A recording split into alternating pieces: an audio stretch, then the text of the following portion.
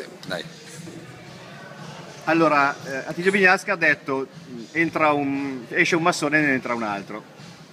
Guarda, la prima reazione che ho avuto è stata veramente di delusione profonda perché non è assolutamente vero e chi mi conosce, chi conosce Lugano, chi conosce queste dinamiche sa che non è assolutamente vero. Probabilmente Attilio Vignasca doveva cercare qualcosa per attaccare Michele Bertini, l'ha trovato, contento lui, contenti tutti, ma vabbè, per me finisce qua. Allora la sfida comunque è di quelle che contano, eh, di certo non te l'aspettavi.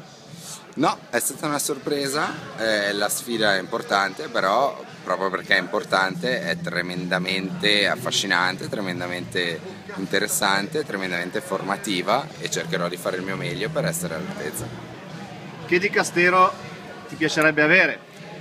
Ma adesso è prematuro parlare di Casteri, ehm, io sarò a disposizione per qualsiasi ambito di competenza che il municipio mi assegnerà.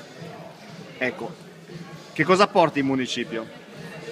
Ma eh, ovviamente porterò una visione nuova eh, in quanto giovane, ventottenne, cercherò di portare me stesso con le mie visioni, con i miei approcci, con il mio modo di essere, eh, cercando di, di, imparare anche dalla situazione, di, di lavorare e sicuramente porterò tanta voglia di fare, eh, porterò pochi preconcetti e una buona apertura mentale.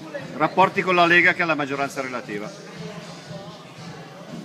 Io sono pronto a lavorare con tutti quelli che, che mi convincono, per cui se la Lega mi convince su un progetto sarò pronto a lavorare con la Lega, così come qualsiasi altro partito.